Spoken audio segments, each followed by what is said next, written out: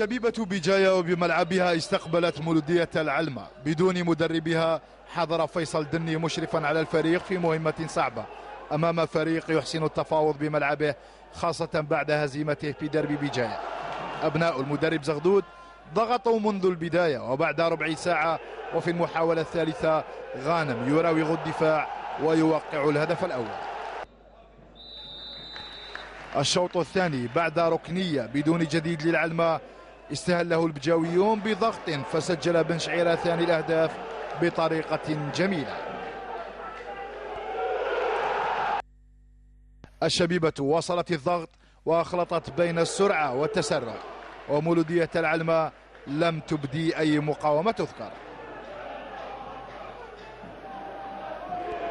اللعب تواصل وتواصلت الهجمات إلى غاية الدقيقة الثمانين.